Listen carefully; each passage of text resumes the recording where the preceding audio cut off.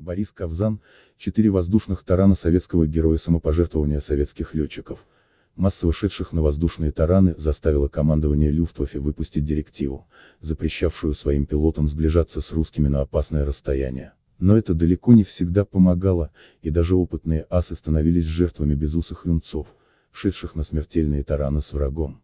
Настоящей легендой советской истребительной авиации стал Борис Ковзан, совершивший четыре таких тарана, а в трех случаях даже сумевший посадить покалеченную машину на свой аэродром. Рожденный летать и сражаться. Уроженец города Шахты Ростовской области родился 7 апреля 1922 года. Вырос в белорусском городе Бобруйске, в который переехал вместе с родителями.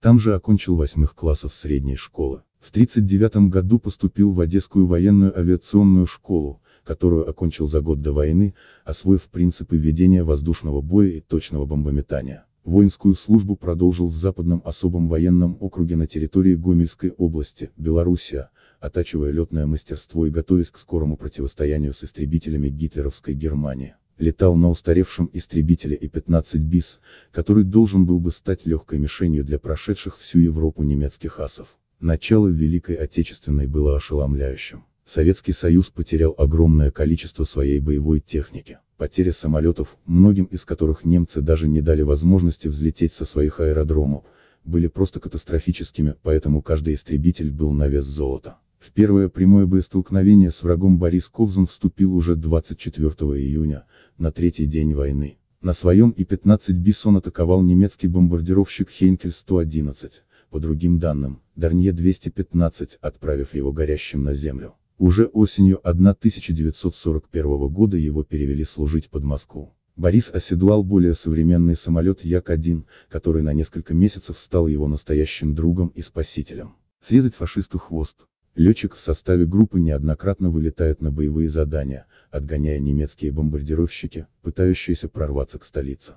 Он вступает в воздушные бои, но похвастаться новой звездочкой на фюзеляже своего истребителя никак не может. О первом его таране, совершенном 29 октября 1941 года, различные источники сообщают по-разному. Одни говорят, что Борис возвращался с боевого задания, во время которого расстрелял весь боезапас. Другие утверждают, что боеприпасы у нашего пилота закончились уже во время боя с гитлеровским самолетом-разведчиком Ме-110. Как бы там ни было, но не желающий упустить врага Борис Ковзан срезал его хвостовое оперение винтом своего самолета. Нужно понимать, какой виртуозной техникой полета должен был обладать летчик для этого. Вошедший в пике немецкий разведчик взорвался на земле, а советский пилот вернулся на аэродром, доложив командованию об итогах боевого вылета. При этом совершенный таран он особым подвигом не считал. Враг не пройдет. 21 по некоторым источникам, 22 февраля 42 года группа Яков вылетела для прикрытия передвижения войск по шоссе Москва-Ленинград в район города Торжка Тверской области.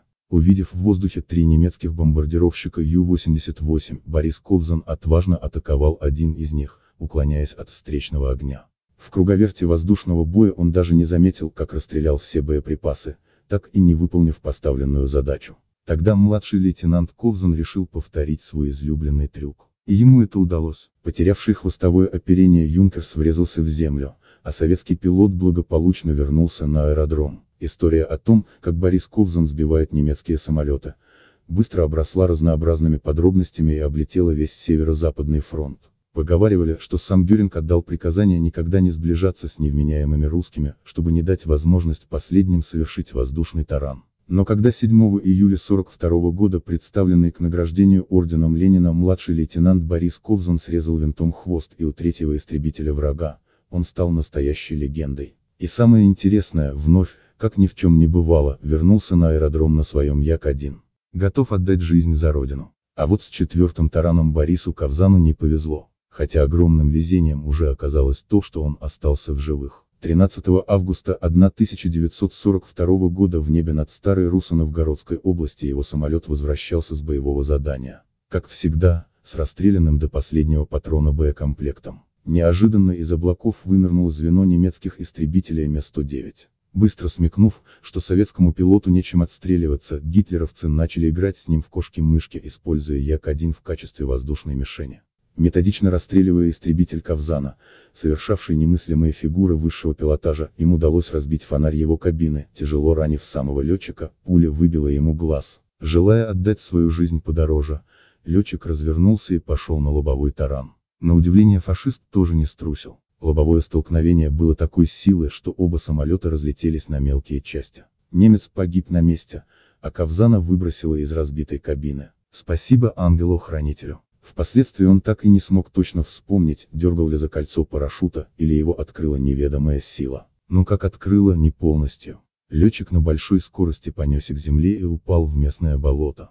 Он бы наверняка утонул, если бы не работавшие невдалеке крестьяне, которые вытащили Бориса Ковзана из болота и спрятали буквально за несколько минут до того, как на место прибыла немецкая поисковая команда, бой шел над оккупированной территорией. Полицаи и фашисты поверили словам бывшим колхозников, утверждавших, что советского пилота поглотила трясина. Тем более, что самим очень не хотелось измазывать сапоги русской грязью. Уже через пару дней Бориса переправили к партизанам, откуда эвакуировали на Большую Землю. Добиться своего любой ценой. Тяжело раненого летчика врачам все-таки удалось спасти, хотя поврежденный правый глаз потребовалось для этого удалить. Позже Борис Ковзан рассказывал, что проведенные в госпитале 10 месяцев стали самыми сложными в его жизни.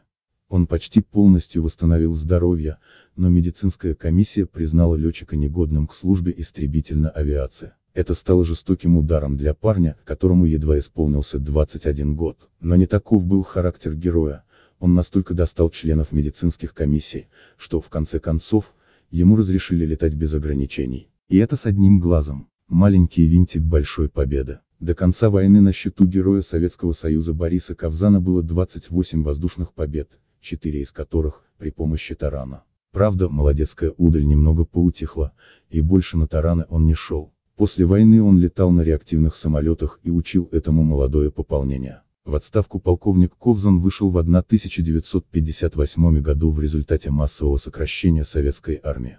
Некоторое время проживал в Рязани, где руководил местным аэроклубом, после чего переехал в столицу Советской Беларуси. Умер 31 августа 1985 года. Его именем названы улицы в нескольких городах бывшего СССР, а в 2014 году Почта России выпустила почтовую марку, посвященную подвигу этого неординарного человека.